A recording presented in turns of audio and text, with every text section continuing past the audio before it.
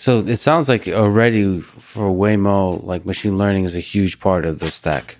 So it's, it's a huge part of like uh, not just so obviously the the first the level zero or whatever you said, which is like just the object detection of things that you know with know that machine learning can do, but also starting to to do prediction of behavior and so on to model the what other or the other parties in the scene, entities in the scene are going to do. So machine learning is more and more uh, playing a role in that as well. Of course. Oh, absolutely. Right? I think we've been you know, going back to the you know, earliest days, like you know, DARPA, uh, even the DARPA Grand Challenge.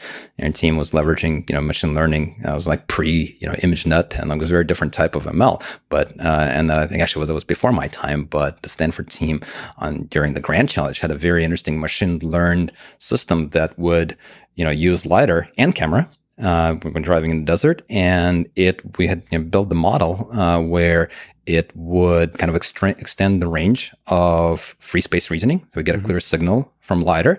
And then it had a model that said, hey, like this stuff in camera kind of sort of looks like this stuff in LiDAR. And I know this stuff in, that I'm seeing in LiDAR, I'm very confident it's free space. So let me extend that uh, uh, free space zone into the camera range that would allow the vehicle to drive faster. Right. And then we've been building on top of that and kind of staying and pushing the state of the art in ML, uh, in all kinds of different ML uh, over the years. And in fact, uh, from the earliest days, I think you know 2010 is probably the year where Google, uh, maybe 2011 probably, uh, got you know, pretty heavily involved in uh, machine learning, uh, kind of deep nets.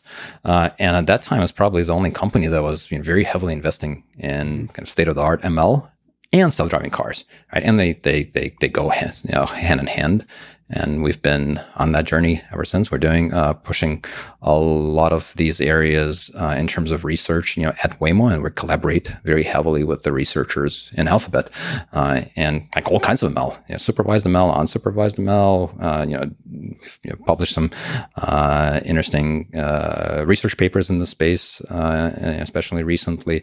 It's just it's super super active, learning as well. yeah, so super super active. and of course, there's you know kind of the more mature stuff like you know ConvNets for you know object detection. But there's some really interesting, really active uh, work that's happening in um, kind of more uh, you know, and and bigger models and you know models that have more structure uh, to them. Uh, you know, not just you know large uh, bitmaps and reason about temporal sequences.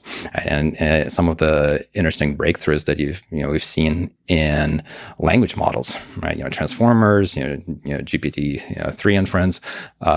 there's some really interesting applications of some of the core breakthroughs to those problems of you know behavior prediction as well as you know decision making and planning. Right? You can think about it, kind of the the behavior uh, how you know the path, the trajectories, the the how people drive. Uh, they have kind of a, share a lot of the fundamental structure. You know, this problem.